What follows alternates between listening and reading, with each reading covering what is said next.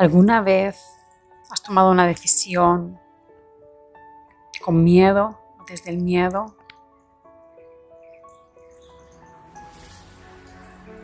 La verdad es que ese tipo de decisiones tomadas así nunca te llevan a nada bueno.